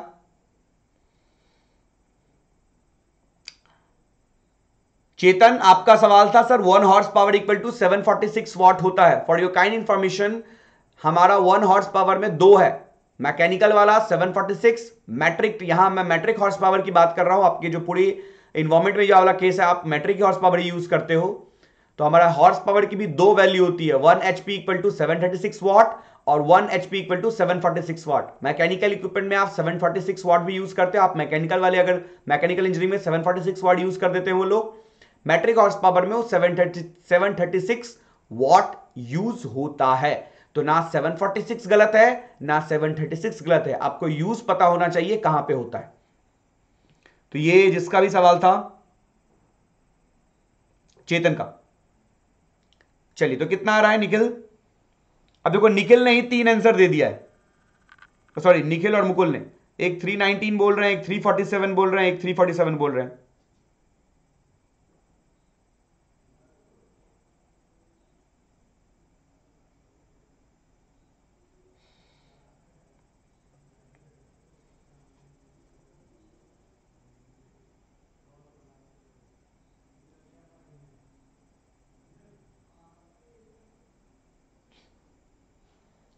चलो, सबका सेम जवाब आना चाहिए। I want all of you guys to give the same answer I want all of you guys to give the same answer gamma Q H upon zero point seven three six into point eight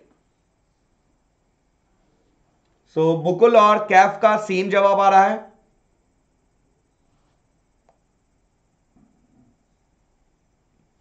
It is three nineteen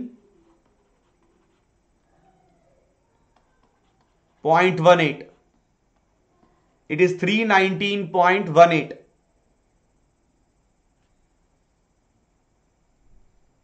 ठीक है? तो मैं calculate नहीं कर रहा हूँ बच्चा, जो आप लोगों ने बताया कमेंट सेक्शन में, वही लेके चल रहा हूँ मैं।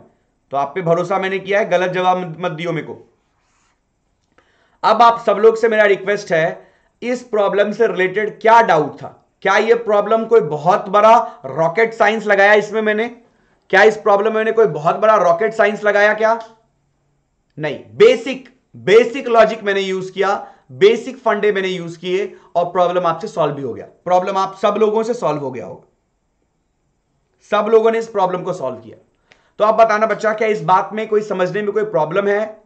If you are getting any problem in this type of question please let me know और जिनको और भी ज़्यादा प्रॉब्लम सॉल्व करने का मन है वीकली टेस्ट में मैं करवाऊँगा। ऐसे टाइप के दो तीन क्वेश्चन करवाऊँगा, ताकि आप ऐसे वाले क्वेश्चन में एकदम प्रो हो जाओ। बिल्कुल एकदम प्रो हो जाओ। ठीक है? अभी ये क्वेश्चन समझ में आ गया। अगर आपको ये क्वेश्चन समझ में आ गया तो then please let me know Wasim पूछ रहे हैं, सर बीएचपी से क्यों निकाले? जब आपको इफिशियंसी भी मेंशन हो तो आपको अगर पावर पूछ रहा है ना तो ब्रेक हॉर्स पावर ही पूछ रहा है। अगर वो आपसे पावर पूछ रहा है and they have mention you the efficiency also so in that case they are asking you brake horse power only otherwise वो इफिशियंसी क्यों देते? क्लियर है?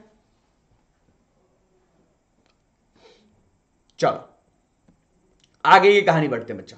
आगे कहानी बचते हैं। अब हम थोड़ा सा थोड़ा सा स्ट्रिक्टली अबाउट आईएएस जा रहे हैं। थोड़ा सा आईएएस जा रहे हैं। यहाँ तक तो गेट का था पार्ट अब थोड़ा सा आईएएस वाला सिलेबस भी हम टच कर रहे हैं। तो मैं आप लोग को इन्फॉर्म करना ज़्यादा सही समझता हूँ कि आप लोग को पता होना चाहिए कि आप कौन सा सिलेबस पढ़ रहे हो। अब समझिएगा थोड़ा सा आईएएस का पार्ट है। ये वाला पार्ट आप गेट में दूसरे सब्जेक्ट में पढ़ते हो, लेकिन अगर इन्वायरमेंट की बात करूँ तो ये इस पार्ट का जो इंफॉर्मेशन मैं आपको दे रहा हूँ स्ट्रिक्टली रिलेटेड टू आईएस है। समझिएगा कि जनरली जो आपके ग्राउंड वाटर में आपको चार चार तरीके के फॉर्मेशन दिखते हैं। जोलॉजिकल फॉर्मेशन जो आपको दिखते हैं, एक होता है एक्यूफर एक होता है एक्यूटार्ड एक होता है एक्यूक्लूड और एक होता है एक्यूफ्यूज ये चार आपको दिखते हैं। आप लोगों ने ये चारों टर्म हाइड्रोलॉजी में पढ़ा होगा। आप लोगों ने ये चारों टर्म हाइड्रोलॉजी में पढ़ा होगा। चलिए एक एक टर्म का मतलब समझते हैं। ये आपका देखो, ये आपका नॉर्मल सरफेस है, आपका ग्राउंड सरफेस है। दिस इज़ योर लेक अब यहाँ समझना फ़र्स्ट पॉइंट एक होता है आपका कन्फाइंड एक्यूफर एक होता है आपका अनकन्फाइंड एक्यूफर एक बीच में आपका क्ले था। इस सारी बातों को समझेंगे, इन सारी बातों को समझेंगे। ये आपका वाटर ट्रेवल था और ये आपका आर्टिशियन वेल था। आर्टिशियन वेल मैंने आपको बताया था क्या होता है। तीन टाइप के वेल में एक आर्टिशियन वेल बताया था मैंने आपको, जहाँ पे वाटर प्रेशर की वजह से ऊपर आता था। और ये आपका बेडरॉक है, ये आपका बेडरॉक है। ये डायग्राम दिमाग में क्लियर रखिएगा और इसके आगे हम बढ़ते हैं, इसके आगे हम बढ़ते हैं, देखो। दिमाग में ये डायग्राम में वापस फिर आएँगे। फ़र्स्ट टर्म को समझते हैं। एक्यूफर क्या होता है एक्यूफर एक्यूफर बेसिकली क्या है आपको? एक एक फॉर्मेशन मतलब अर्थ लेयर का एक सेचुरेटेड फॉर्मेशन रहता है, जिसको आप, जहाँ पे आप क्या करते हो? थोड़ा वाटर आपका स्टोरेज हो पाता है, आपका वाटर स्टोरेज हो पाता है। तो मैं इस पॉइंट में आपको हाईलाइट कर देता हूँ जो आपको याद रखना है। वैसे तो ये सारा थियोटिकल पॉइंट है। Aquifer is an saturated formation of the earth it only store the water but also yields it adequate quantity store भी करता है और आपको अगर खींचना है इससे वाटर आपको अगर इससे वाटर निकालना है तो भी आप इससे निकाल सकते हो। तो आप जो लोग जो वेल बनाते हो ना नॉर्मल जो आप वेल बनाते हो, वो बेसिकली आप एक्यूफर का पानी ही एक्सट्रैक्ट करते हो। बेसिकली आप एक्यूफर का पानी ही एक्सट्रैक्ट करते हो। तो यहाँ लिखा भी मैंने aquifer are highly permeable formation and hence they are considered as main source of ground water application तो जो आप लोग के घर में पानी आप खींचते हो ना बेसिकली आप एक्यूफर से खींचते हो बेसिकली आप एक्यूफर से खींचते हो। अब यहाँ मैंने एग्जांपल भी दे दिया unconsolidated deposit of sand and gravel are the example of aquifer अब आपको दो मिलेंगे एक्यूफर दो टाइप के, एक अनकनफाइंड एक कन्फाइंड इसका कोई एकदम बहुत ही सिंपल लॉजिक है। डायग्राम में देखो। ऊपर वाला। ऊपर आपको कन्फाइंड नहीं है बिल्कुल खुला है। नीचे वाला जो आपका कन्फाइंड एक्यूफर में क्या है ना, कि नीचे बेडरॉक है और ऊपर क्ले है। क्ले के साथ क्या प्रॉब्लम है कि क्ले आपको वाटर बिल्कुल पास नहीं होने देगा, जो आपका बीच में वो एकदम फिक्स कर दिया। तो क्या होता है, ये दो इंपरवियस लेयर के बीच में ये आपका एक्यूफर जमा हुआ है। ये क्या है आपका, दो इंपरवियस लेयर के बीच में आपका ये एक्यूफर जमा है। तो ये दो इंपरवियस लेयर के बीच में अगर जो एक्यूफर जमा होगा, उसको आप बोलते हो कन्फाइंड एक्यूफर क्या बोलते हैं उसको आप? Confined aquifer. अभी इस पॉइंट को कोई नोट नहीं करेगा, ये मेरी सख्त हिदायत है आपको। सिर्फ़ समझो, सुनो और डाउट आए तो पूछो। नोट करने का टाइम मैं दूँगा। नेक्स्ट पॉइंट समझना। दो कन्फाइंड के बीच में आपका, दो इंपरवियस के बीच में आपका क्या आ गया? कन्फाइंड आ गया। और कन्फाइंड ये वाला जो क्ले है, उसके ऊपर वाला पार्ट देखो, ये वाला। ये है आपको अनकन्फाइंड एक्यूफर अब ये नीचे से तो कन्फाइंड है बट ऊपर ये ओपन है। ऊपर ये पार्ट आपका ओपन है। सो इन दैट केस अगर आप यहाँ पे ऐसे वेल बनाते हो ना, अगर आप यहाँ पे एक वेल बनाते हो तो आप बेसिकली क्या करते हो? अनकन्फाइंड एक्यूफर का पानी वेल में कलेक्ट करते हो। जो आप एक ओपन वेल बनाते हो ना, गाँव में भी आपने देखा होगा in village area so basically you are doing that only now आप बोलते हो ना कि आपके सिटी का वाटर लेवल इतना नीचे है, आपके सिटी का ये है तो बेसिकली आप एन अनकनफाइंड एक्यूफर का अपर सरफेस को ही वाटर टेबल बोलते हो। तो आप जो ये जो सरफेस है ना, इसी को आप वाटर टेबल या ग्राउंड वाटर टेबल बोलते हो। तो ये बात समझ में आई? तो आपको दिख सकता है कि जो आपका ग्राउंड वाटर टेबल है, वो लेक के, जो आपका बॉटम लेक होगा, उसके लेवल के साथ मैच खाता है, हमेशा। तभी तो यहाँ से यहाँ तक फ्लो होगा, तभी से यहाँ से यहाँ तक फ्लो होगा। अंदर वाला जो फ्लो होता है, उसको भी आप जानते हो, क्या बोलते हैं? पर्कुलेशन ये पर्कुलेशन टर्म हाइड्रोलॉजी का है। मैं यहाँ यूज़ कर रहा हूँ, जब आपका वाटर अंदर अंदर सॉइल के लेयर के थ्रू मूव करके आपके लेक तक पहुँचता है, उसको हम क्या बोलते हैं? पर्कोलेशन तो आपको ये जानकारी बिल्कुल होनी चाहिए, मैंने आपको बता दी, फिर भी आप हाइड्रोलॉजी में डिस्कस करोगे। तो अभी मेरे को सब लोग एक बार कमेंट सेक्शन में बताना बच्चा, कि आपको कन्फाइंड एक्यूफर और अनकन्फाइंड एक्यूफर समझ में आया? एक्यूफर क्या होता है, वो समझ में आया? इन तीन चीज़ों का जवाब अगर दे पाओ तो बहुत अच्छा लगेगा। इन तीन चीज़ों का जवाब अगर आप दे पाओ तो बहुत अच्छा लगेगा। जल्दी से। जल्दी से कमेंट सेक्शन में बताइएगा सब लोग। इन तीन चीज़ों का जवाब बस मेरे को चाहिए। इन तीन चीज़ों का जवाब।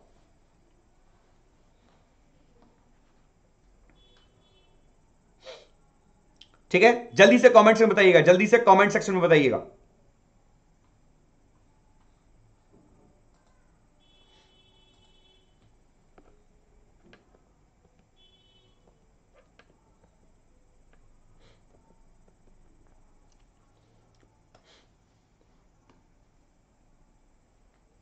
अनकनफाइंड को रिपीट करना है, ठीक है? कोई बात नहीं।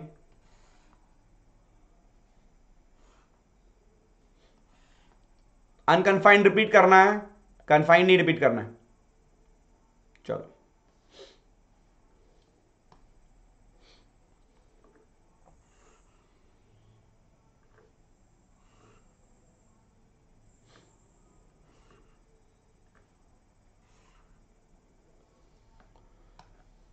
चलिए, ध्यान से देखिएगा।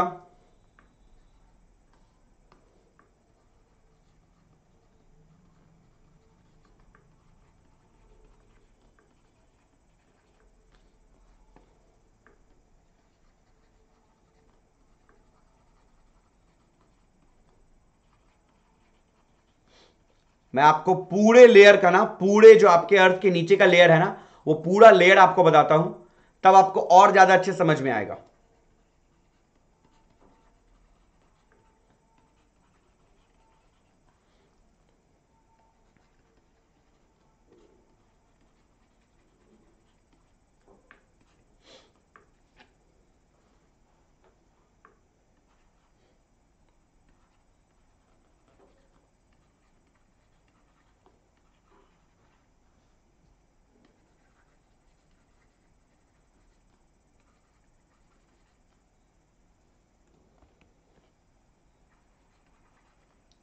Let me draw this diagram मैं आपको सारी इंफॉर्मेशन दूँगा। एक बार देख लो पहले।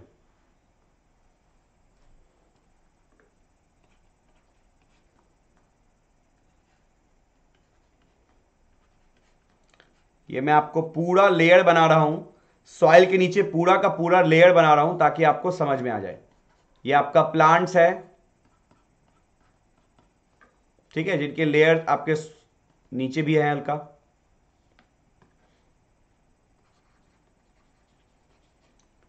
ये आपके जोन ऑफ़ रॉक फ्रैक्चर होते हैं और ये जो आपका ये है जोन ऑफ़ रॉक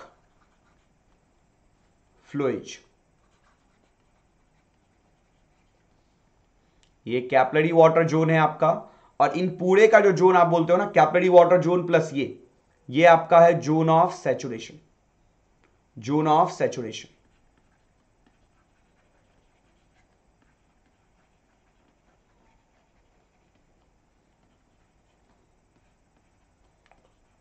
और इसको आप बोलते हो zone of aeration.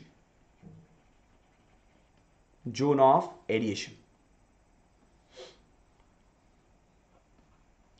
ये जो लेयर आपकी होती है almost hundred to thousand metre की होती है, और ये तो बहुत बड़ी होती है। इसको तो मैं एक्स किलोमीटर में बोल रहा हूँ। एक्स किलोमीटर में बोल रहा हूँ तो आप समझ पे समझ सकते हो। यहाँ आपका इंटरनल वाटर जोन है। मैं आपको हर टर्म फिर से बता रहा हूँ।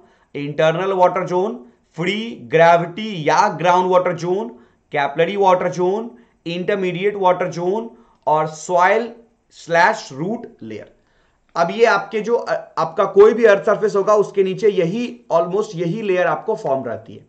समझिएगा, ध्यान से अगर समझ पाए तो एक बार में क्लियर समझिएगा। सबसे पहला जो आपको क्या किया हमने, पूरा जो पूरा जो हमारा अर्थ सरफेस था, उसको हमने दो पार्ट में बांटा। एक को बोला जोन ऑफ़ रॉक फ्लोएज एक को बोला जोन ऑफ़ रॉक फ्रैक्चर जिसमें एकदम रॉक आपका टूट चुका है, वो वाला पार्ट हमारा फ्रैक्चर था।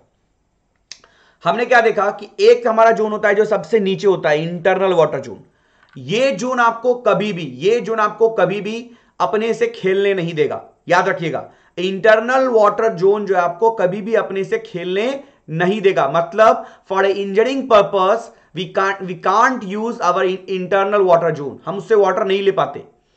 हमारा जो पर्पस है, वो पूरा का पूरा जोन ऑफ़ रॉक फ्रैक्चर में ही टिका हुआ है।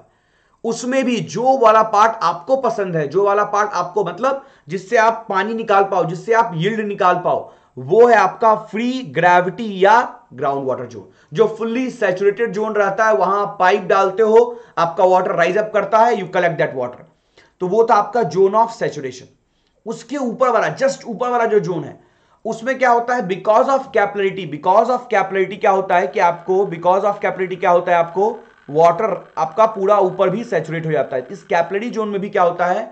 वाटर सेचुरेटेड तो है but it will not give you the yield yield मतलब उसको, वो आपको अपने वाटर खींचने नहीं देगा। पॉइंट समझ रहे हो? एक फुल्ली सेचुरेटेड और एक सिंपल सेचुरेटेड जब एकदम मिनिमम सेचुरेटेड इसको आप बोलते हो। तो जब आप कैपलिटी की वजह से जब वाटर राइज अप होता है, उससे आप पानी नहीं खींच सकते। उससे आप पानी नहीं खींच सकते। फॉर एग्ज़ाम्पल जिनको वो लॉजिक नहीं समझ में आ रहा है, आप अपने कपड़े को लो। कोई भी क्लॉथ लो। क्लॉथ में सिर्फ़ पानी छीट दो, ऐसे। स्प्रे से पानी पूरा छीट दो। कुछ पानी निकलता है क्या? हाँ पूरा भींगा हुआ है। It is a wet cloth but still you can't take any water from that आप उससे वाटर ले ही नहीं पा रहे हो। बट उसी उसी क्लॉथ को पूरा पानी में डुबा के निकालो। Now now if you now if you turn that you will get some water. If you turn that cloth you will get some water. और जब आप उसको स्क्यूज करोगे तो आपको डेफिनेटली वाटर मिलेगा। सो so, जब आपका पूरा बकेट में आपने डाला ना दैट मींस आपने क्या किया? उस उस उस क्या बोलते उस शर्ट को या उस क्लोथ को आपने फुल्ली सैचुरेट कर दिया। सो इन दैट जो ये जोन है आपका ये वाला जोन है जिसमें आपके जो भी वाटर मॉलिक्यूल है वो आपको निकलेंगे। अगर आप उसमें पाइप वाइप डालोगे तो आपका पानी निकलता है। That's what you are doing in our bore hole में क्या करते हो? यही तो करते हो आप। Now in a capillary water zone हम चाहे भी तो भी वाटर वहाँ से नहीं खींच सकते, क्योंकि वो जस्ट सेचुरेटेड है और जस्ट सेचुरेटेड वाला चीज़ आपको पानी नहीं देगा। ये बात आप दिमाग में क्लियर याद रखिएगा। उसके बाद आता है आपको इंटरमीडिएट जोन ये कहीं पे रहेगा, कहीं पे नहीं रहेगा। और उसके ऊपर जो आपको सॉइल लेयर दिखता है जिसपे आप अपने खेती वेती करते हो दैट इज़ अ सॉइल और रूट लेयर जिसको आप बोलते हो, ये आपको होता है पूरा, अगर मैं बोलूँ ग्राउंड के नीचे का पूरे लेयर की अगर मैं बात करूँ तो ये आपकी कहानी है। अब इसी में अलग अलग नाम दे दिया गया बच्चा। एक आपको यहाँ वाले तक को जोन ऑफ़ एडिएशन बोला, क्योंकि यहाँ तक आपका एडिएट हो पाता है। नेक्स्ट आया आपका जोन ऑफ़ सेचुरेशन जहाँ पे आपका फुल्ली सेचुरेटेड है आपका। जितने भी आपके पार्टिकल्स हैं, वो फुल्ली सेचुरेटेड हैं। और नेक्स्ट वाला इंटरनल वाटर जोन इसलिए हमने बोला कि this water we can not use for our engineering purposes तो मैं इस बात को लिख दूँ, क्योंकि आप लोग बहुत जल्दी भूल जाते हो। और ये पॉइंट बहुत जानना ज़रूरी है, इसलिए मैं इसको लिख भी रहा हूँ।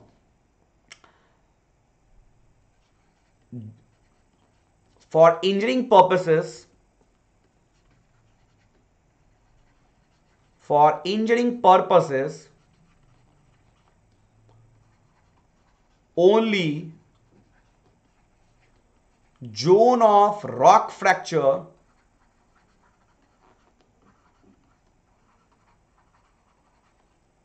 is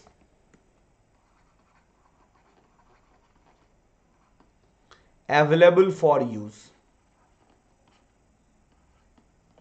so क्या बोला मैंने? For engineering purpose only zone of rock fracture is available for use इस बात का ध्यान रखिएगा, इस बात का ध्यान रखिएगा।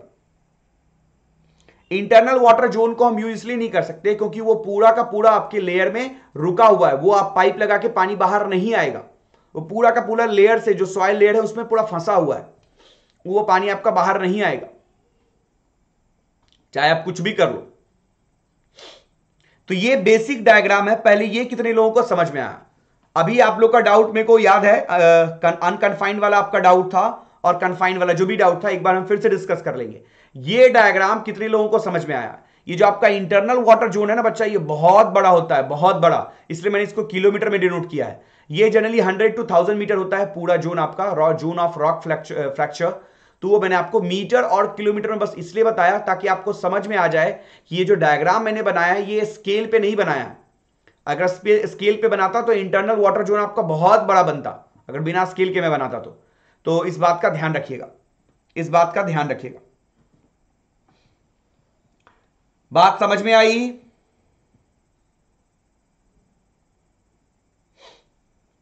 बात समझ में आई बच्चा? चलिए। आई होप आपने नोट कर लिया होगा। आई होप आपने नोट कर लिया होगा। जो जनरली क्वेश्चन पूछा जाता है आपसे कि क्या कैपलरी वाटर जोन से हम वाटर एज ए यील्ड ले सकते हैं? नहीं, आप निकाल ही नहीं पाओगे। आप पाइप डालोगे, कोई पानी ऊपर नहीं आएगा। ग्रेविटी वाला जो आपका जोन ऑफ़ सेचुरेशन है, उसमें पाइप डालोगे, फटाफट पानी ऊपर आएगा। अगर प्रेशर रहा तो ज़्यादा ऊपर तक जाएगा।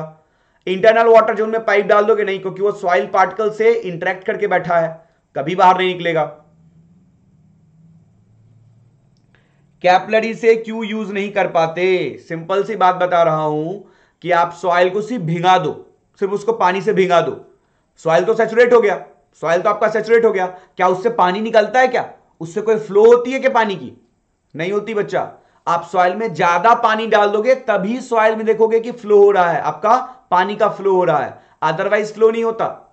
तो पानी जब आपके सॉइल लेयर से बिल्कुल चिपका हुआ है इन दैट केस वो थोड़ी करेगा। किसी के पास आपके पास एक्स्ट्रा होता है, तभी आप देते हो ना किसी को। तो सॉइल के पास अगर वाटर एक्स्ट्रा होगा, तभी आपको देगा ना अदरवाइज़ वो क्यों देगा? पॉइंट समझ पा रहे हो? तो जो आपका फ्री ग्रेविटी वाटर सरफेस है, यहाँ पे क्या है कि जोन सेचुरेट तो हो ही गया है। साथ में आपको एक्स्ट्रा वाटर भी है उसके पास तो वो आपको बिल्कुल देगा। कैपलरी वाटर तो मुश्किल से वो सेचुरेट हो पाया है। हम कैपलरी वाटर में क्या बोलते हैं? It is just saturated just saturated तो वो आपको क्या पानी देगा? इसलिए मैंने आपको वो शर्ट वाला एग्ज़ाम्पल या क्लोथ वाला एग्ज़ाम्पल बताया था।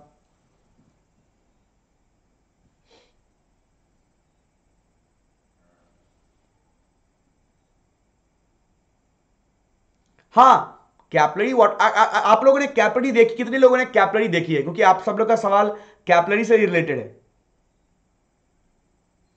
हाँ बिल्कुल बिल्कुल बिल्कुल। आप एक बहुत बड़ा amount of water ground water आप ले ही नहीं सकते। ये किन का सवाल है? स्मृति का। बहुत बड़ा ग्राउंड वाटर जो आपका है, वो आप ले ही नहीं सकते।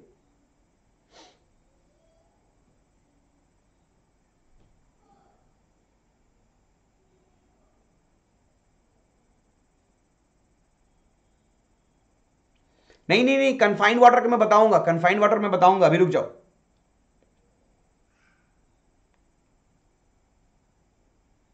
हाँ, मिल सकता है, निखिल। बिल्कुल मिल सकता है। वो बिल्कुल मिल सकता है। जैसे फॉर एग्ज़ाम्पल आप बोलते हो ना, जैसे आप यहाँ पे बात कर रहे हो, यहाँ पे अगर आप कन्फाइंड एक्यूफर की बात कर रहे हो तो अगर आप सऊदी अरेबिया ये सब में जाते हो गल्फ कंट्री में तो उनको वाटर की जगह ऑयल मिलता है। उनको वाटर की जगह ऑयल मिलता है। तो वहाँ पे होता है ऐसा बच्चा? वहाँ पे ऐसा होता है? ठीक है?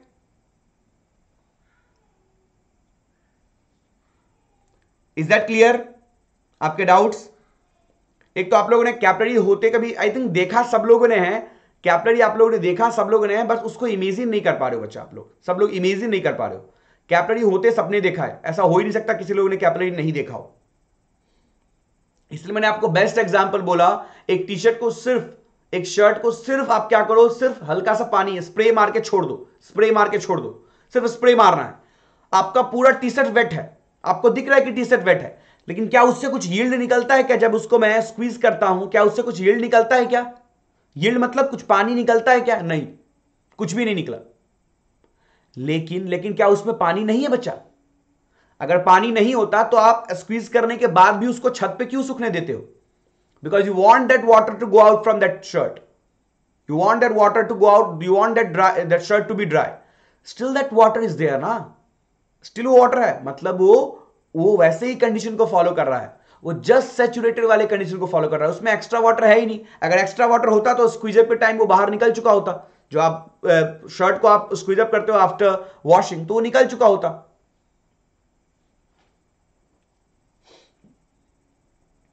अब ये वसीम ऑयल क्यों मिलता है, ये अगर मैं डिस्कस करने लगा ना तो फिर हम कहीं और चले जाएँगे।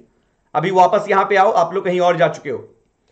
अब मैंने आपको क्या बात किया? दो सरफेस की बात की अनकन्फाइंड वाला और कन्फाइंड वाला।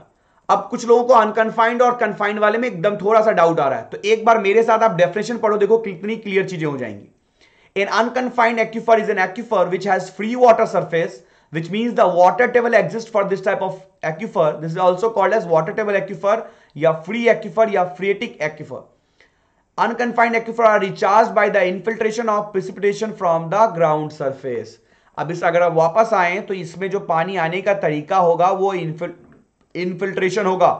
वो इनफिल्ट्रेशन होगा। क्ले लेयर उसको पानी पास करने देगा नहीं नीचे कंफाइंड वाले जोन में जाने देगा नहीं उसको। तो वो पानी क्या होगा? पूरा स्टोर हो जाता है। पानी क्या होता है? पूरा स्टोर हो जाता है। और यही पानी आपको, यही पानी ए आप बोरवेल लगा रहे हो कि हैंडपंप लगा रहे हो कि आप वेल बना रहे हो। आप सब में इसी पानी को आप यूज़ करते हो।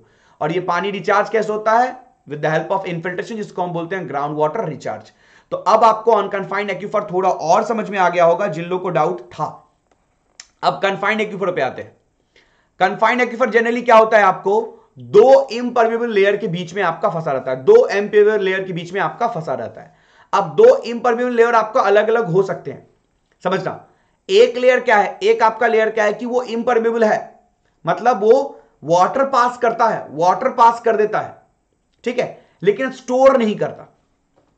वाटर पास कर देगा, लेकिन स्टोर नहीं करेगा। फॉर एग्ज़ाम्पल फॉर एग्ज़ाम्पल क्या है आपका? सैंड सैंड आपका वाटर पास कर देगा। सैंड की जो लेयर होगी ना वाटर पास कर देगा। स्टोर नहीं करेगा बट अगर आप रॉक की बात करो, ना वो वाटर पास करेगा। अगर आप रॉक लेयर की बात करो, ना वो वाटर पास करने देगा और ना वो स्टोर करने देगा। तो अलग अलग आपको जो टाइप है, मैं अलग अलग टाइप आपको एक्सप्लेन करने वाला हूँ। ध्यान से बस सुनते जाना। अब अभी देखने क्या मैंने बोला आपको कन्फाइंड एक्यूफर आपको दो इम्परवेबल लेयर के बीच में होगा। दो इम्परवेबल लेयर के बीच में जो वाटर आपका स्टोरेज है, वो आपका। अब दो इम्परवेबल कैसे हो सकता है देखो। एक आपको ऊपर क्ले हो सकता है और नीचे आपको रॉक हो सकता है, या दो क्ले लेयर के बीच में ही हो सकता है। या दो रॉक लेयर के बीच में ही हो सकता है। तो कहानी अलग अलग हो सकती है। सारे को आप कन्फाइंड एक्यूफर ही बोलोगे। सारे को आप कन्फाइंड एक्यूफर ही बोलोगे। इस बात की जानकारी समझ में आ रही है या नहीं आ रही है? इस बात की जानकारी मेरे को जल्दी से कॉमेंट में दीजिए। ठीक है?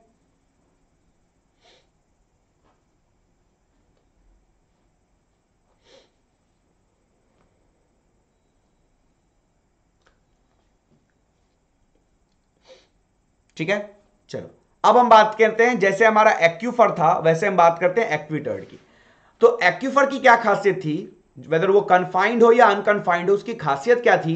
कि वो वाटर स्टोर करता था, और साथ में जब उसको आपको वाटर उससे आपको खींचना है, जब आपको वाटर एक्सट्रैक्ट करना है तो आपको पानी देता था। मतलब वो स्टोरेज भी करता था, और यील्ड भी देता था। यील्ड मतलब पानी आपको चाहिए तो मिल भी जाता था एज ए डिस्चार्ज अब आते हैं दूसरा टाइप दूसरा टाइप होता है हमारा एक्यूटर एक्यूटेड क्या करता है देखो an aquitard is also a saturated formation it permit water through it but does not yield water in a sufficient quantity as much as aquifers मैंने क्या बोला? ये वाटर तो परमिट करेगा वाटर अलाउ करेगा परमिट मतलब इसकी पोरोसिटी तो है बट ये अपना वाटर स्टोर नहीं करता. और स्टोर मतलब करता है, बहुत कम करता है. As compare to aquifer as compare to aquifer और इसका बेस्ट एग्ज़ाम्पल आपको देखना है तो देखो सैंडी क्ले यहाँ लिखा हुआ है। सैंड भी और क्ले भी हो। क्ले आपका वाटर थोड़ा स्टोर कर देगा और सैंड मोस्टली वाटर को क्या करता है आपको? पास कर देता है। तो अगर आपका ग्राउंड के नीचे अगर आपको एक सैंडी क्ले का लेयर है तो उसको आप क्या बोलते हो? Aquitard aquitard is that clear to you is that clear to you sandy clay में सैंड आपका परवियस रखेगा ताकि फ्लो मतलब आपका परवियस फ्लो रहे। और क्ले क्या करता है? जनरली आपको वाटर स्टोर करने में हेल्प करता है। आपको क्ले थोड़ा वाटर स्टोर करने में हेल्प करता है। तो थोड़ा सा यील्ड देगा आपको ये बट वाटर को बहुत इजीली पास करने देता है। सो so ये हमारा था एक्विटर्ड एग्ज़ाम्पल भी देखा आपने। Now come to the third part now come to the third part इस डायग्राम को हम वापस आएँगे।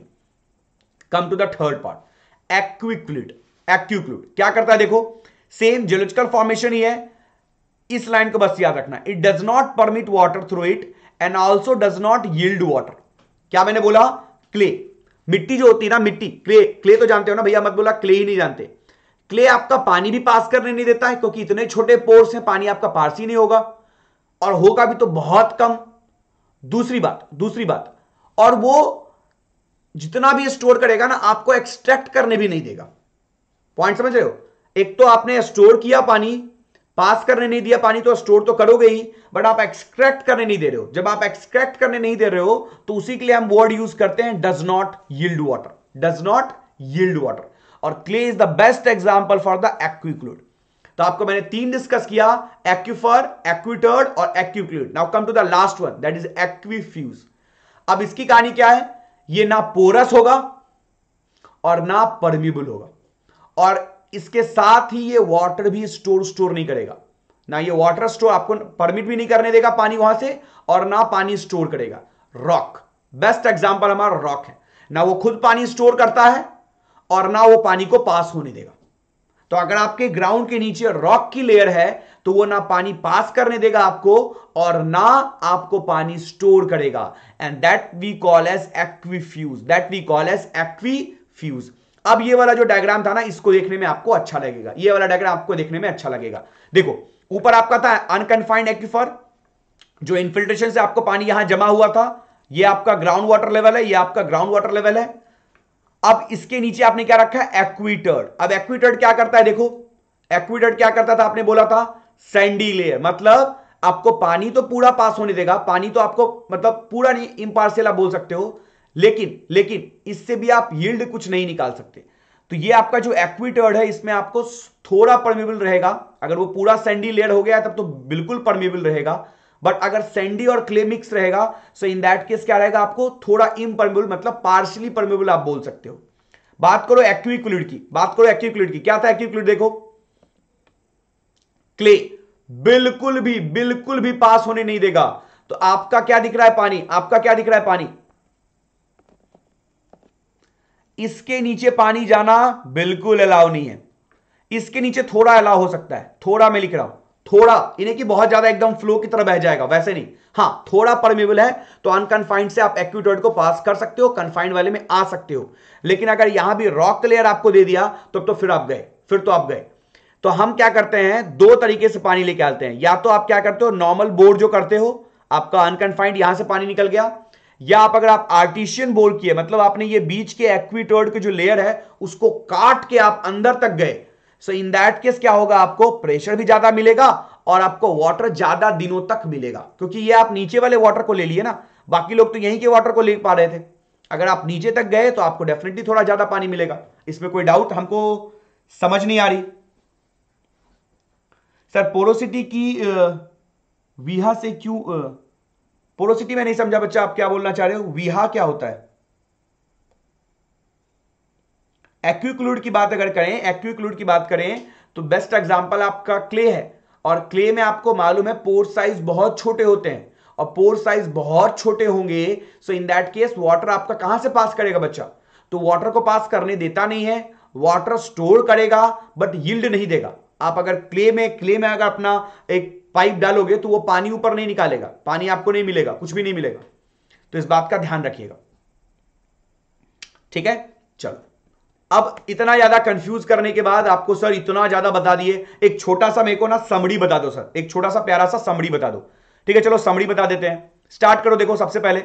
चार लेयर आपके एक्यूफर एक्यूटर्ड एक्यूक्लूड और एक्यूफ्यूज ये चार हमारे हैं। वाटर स्टोरेज कौन कौन करता है? एक्यूफर करता है, बिल्कुल। एक्यूटर्ड भी करता है। एक्यूक्लूड भी करता है। एक्यूफ्यूज नहीं करता। ये हमारा रॉक वाला एग्ज़ाम्पल था। ये हमारा रॉक था। ये वाटर स्टोरेज नहीं करता। परमिलिटी ऑफ़ वाटर एक्यूफर तो बिल्कुल परमेबल है आपको। एक्विटर जो आपका था सैंडी क्ले वाला, वो पार्सली परमेबल था। एक्यूक्लेट बिल्कुल इम्परमेबल एग्ज़ाम्पल क्ले एक्यूफ्लूड तो ये भी बिल्कुल impermeable yield of water yield of water जो आपको वाटर लेने देगा, जो आप, उससे आप वाटर एक्सट्रैक्ट कर सकते हो। एक्यूफर बिल्कुल देता है आपको एक्सट्रैक्ट करने। Aquitard yes but slow yielding बिल्कुल है सैंड लेयर है, उसके पास स्टोरी इतना कम हो रहा है कि वो आपको कभी देगा। Aquiclude do not yield clay वाले में आप पाइप डाल के छोड़ दो, कुछ पानी ऊपर नहीं आएगा। रॉक अभी बच्चा स्टोरी नहीं कर रहा तो ये डू नॉट यील्ड तो करना वाजिब है। इसमें तो कोई याद रखने वाली बात नहीं है। एक्यूफर का एग्ज़ाम्पल सैंड ग्रेवल एक्यूटॉड का एग्ज़ाम्पल सैंडी क्ले एक्यूक्लूड का एग्ज़ाम्पल क्ले और एक्टिफ्यूज का example compact rock such as granite और बेसाल्ट रॉक बेसिकली पानी पास करने आपको देगा नहीं। तो आप एग्ज़ाम्पल भी आपको मैंने बता दिया, एक ही एक ही एक ही वाले, एक ही स्लाइड में आपको मैंने पूरा का पूरा लास्ट ट्वेंटी मिनट का डिस्कशन डाल दिया। ठीक है?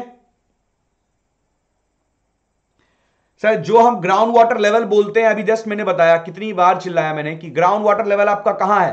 अनकनफाइंड एक्यूफर का जो टॉप मोस्ट पॉइंट होता है, उसको आप बोलते हो ग्राउंड वाटर लेवल उसको आप बोलते हो ग्राउंड वाटर लेवल ठीक है? एक्विक्लिड एक्विक्लिड की बात करो। देखो एक्विक्लिड की बात करो। एक्विक्लिड में आप क्या बोल रहे हो? क्ले क्ले वाले में क्या है आपका? पोरोसिटी कम रहती है इसकी। पोरोसिटी अगर आप बात करो तो आपका, एक्चुअली आप इसको पोरोसिटी में आप उल्टा बोलो इसको आप। देखो, जब आप पोरोसिटी बोलते हो तो volume of voids upon volume बोलते हो। तो जब आप क्ले की बात करते हो ना तो इसका क्या रहता है? साइज़ ऑफ़ वॉइड्स बहुत छोटा होता है। साइज़ ऑफ़ वॉइड्स बहुत छोटा। Are small but total voids बड़े होते हैं। टोटल वॉइड्स बड़े होते हैं। इसका बेस्ट एग्जांपल अगर आप मैं आपको दूँ तो आप लोगों ने वीट देखा होगा ना, गेहूँ, जिसको आप बोलते हो वीट वीट को जब आप एक बैग में लेके जाओगे ना, कहीं पे, दुकान पे तो आपका एक पर्टिकुलर वॉल्यूम रहेगा। जब वो आपको क्रश करके फ्लोर बना के देगा, आटा बना के देगा आपको तो उसकी वॉल्यूम बढ़ जाती है। क्यों बढ़ जाती है? क्योंकि आपका वॉल्यूम ऑफ़ वाइड्स बढ़ जाता है। But but size of voids घट जाता है। क्योंकि जब छोटे पार्टिकल्स तो साइज़ ऑफ़ वाइड्स घट जाएगा, लेकिन वॉल्यूम ऑफ़ वाइड्स बढ़ जाएगा, क्योंकि नंबर ऑफ़ वाइड्स आपके बढ़ जाते हैं। तो क्ले के साथ हमारा वही होता है कि आपको हाई पोरोसिटी तो है हाई पोरोसिटी तो है बट आपका साइज़ ऑफ़ वाइड्स कम है। आपका साइज़ ऑफ़ वाइड्स कम है। अब ये पोरोसिटी वाइड रेशियो ये एक्चुअली जियोटेक का पार्ट है बच्चा। यहाँ यूज़ हो रहा है, इसलिए मैं आपको यूज़ कर रहा हूँ ये term otherwise a part of geotech but आपको ये बात समझ में आ गई होगी कि क्ले में हाई पोरोसिटी होने के बावजूद भी आपका साइज़ ऑफ़ वाइड्स कम है। और जब साइज़ ऑफ़ वाइड्स कम रहेगा तो ये वाटर परमिट नहीं करेगा। क्योंकि वाटर परमिट करने के लिए एक पर्टिकुलर साइज़ ऑफ़ वाइड्स हमको चाहिए।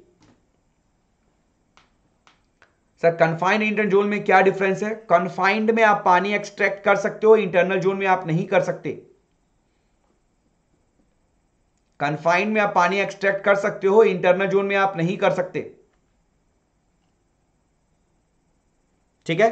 चलो तो टाइम हो गया बच्चा आई थिंक अभिषेक सर की क्लास है next so I don't want to take थोड़ा एक्स्ट्रा पार्ट बच गया था कल हम कर लेंगे इसको कंप्लीट और कल आपका water quality of water start कर दूँगा मैं। तो जिन लोगों को टेस्ट के बारे में इन्फॉर्म नहीं है रिगार्डिंग एफएम टेस्ट मैं आपको बता दूँ फिर से डेट 21, 22 और 23 आपकी टेस्ट है। और 9 टू 10 पीएम से ये सिर्फ़ गेट 21 गेट 21 वालों के लिए अनाउंसमेंट है। ये सिर्फ़ 20 21 वालों के लिए अनाउंसमेंट है। 9 टू 10 पीएम आज भी आपको मिलेंगे हम लोग। आज से मैं आपको 50 क्वेश्चन जो आपके मोस्ट एक्सपेक्टेड 50 क्वेश्चन है वो वाली सीरीज़ स्टार्ट कर रहा हूँ। तो बिल्कुल आराम से रेडी रहिएगा फ्रेश माइंड से रहिएगा कैलकुलेटर लेके बैठिएगा और हम प्रॉब्लम सॉल्व करेंगे। So with that guys thank you so much and regarding new batches जो आपको आ, आज स्टार्ट हुई है जो भी लोग इंटरेस्टेड हैं कि सर गेट और ईएससी के लिए अच्छे से बैच फॉर्मेट में पढ़ना है तो बिल्कुल आप स्टार्ट कर लीजिए अन अकेडमी ऐप के थ्रू कोड आपको क्या यूज़ करना है, आपको बिल्कुल इन्फॉर्म्ड है। और बाकी इसके अलावा कोई इंफॉर्मेशन आप चाहते हो तो बताइए।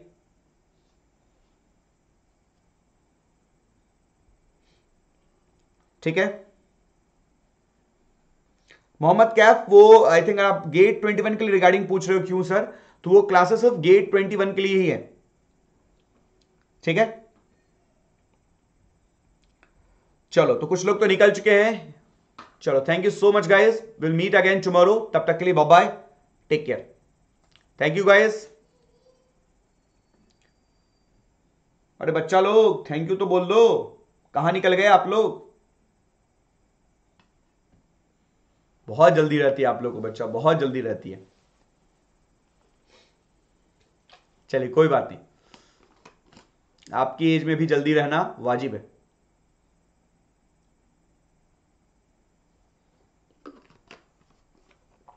चलो। चलो चलो, जल्दी भागो जल्दी भागो। अभिषेक सर की क्लास अटेंड करो। सेवन थर्टी से स्टार्ट हो गई होगी। चलो बाय बच्चों।